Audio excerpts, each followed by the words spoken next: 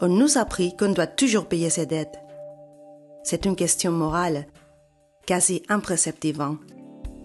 Mais d'où vient ce précepte? Déjà, dans l'ancien Sumer, le temple avançait aux habitants les ressources nécessaires pour travailler la terre.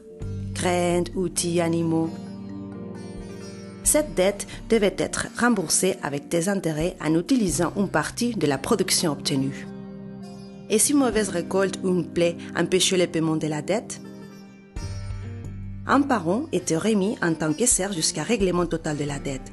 Sinon, il devenait esclave jusqu'à sa mort. Mais qui faisait partie du temple? La société sumérienne était administrée depuis les temples par les grands prêtres, une élite semi-divine désignée par les dieux en quelque sorte ce que nous appelons aujourd'hui la classe dirigeante.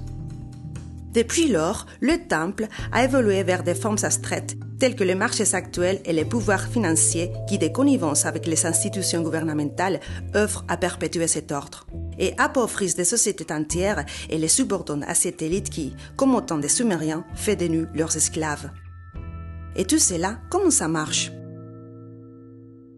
Les États sont financés par des fonds publics qui sont principalement collectés par les billets des impôts. Lorsque les gouvernements baissent les impôts, essentiellement en faveur des grandes fortunes, ils contribuent à la corruption et au gaspillage. Et en tolérant l'existence des paradis fiscaux, les recettes fiscales deviennent insuffisantes pour couvrir les dépenses publiques. Pour couvrir ce déficit, les gouvernements ont recours aux marchés financiers et organisations internationales pour obtenir des prêts au détriment de la population.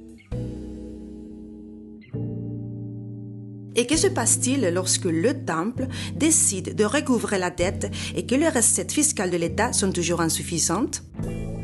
Crise.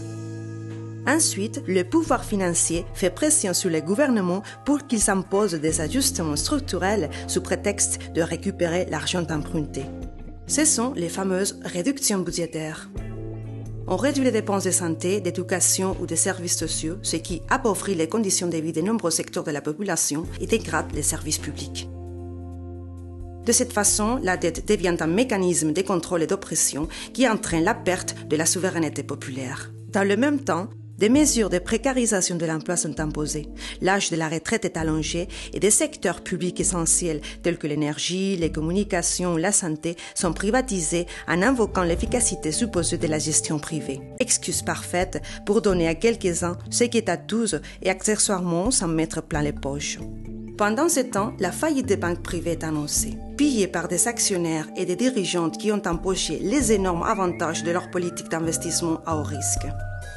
Et quand tout s'écroule, la population est tenue pour responsable, l'accusant d'avoir vécu au-dessus de ses moyens. Alors, le temple décide que nous devons payer la bombance bancaire entre tous et leur dette privée devient publique. Ces contextes alimentent la pensée de l'intolérance extrême qui encourage des politiques de haine et violence. En conséquence, la responsabilité de la crise est transférée aux secteurs les plus vulnérables de la population, en particulier les immigrés et les classes les plus pénalisées, protégeant les vrais coupables avec un écran de fumée médiatique. Mais si nous savons que les ressources obtenues avec la dette n'ont pas été utilisées au profit de la population et que, dans de nombreux cas, seule l'accumulation de capital est poursuivie sans tenir compte de la durabilité environnementale ou du respect des droits fondamentaux, est-ce encore une obligation morale pour les citoyens d'assumer ces dettes Face à ces panoramas, que faire?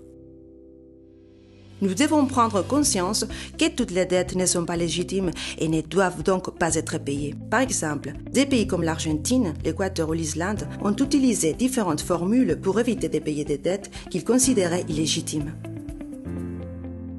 Nous devons nous informer et nous impliquer, exiger des comptes transparents pour savoir d'où vient l'argent public et comment il est utilisé, et aussi connaître la perte des recettes fiscales dues à l'exonération offerte au grand capital. L'audit public est un outil qui permet de visualiser l'origine de la dette, de déterminer les responsabilités et de comprendre ses conséquences, ainsi que de distinguer les dettes illégitimes et donc non payables. Nous avons été amenés à croire que le paiement de la dette est une obligation morale, mais nous devons nous interroger. Selon quelle morale peut-on assimiler la vie d'une personne à quelques sacs de graines?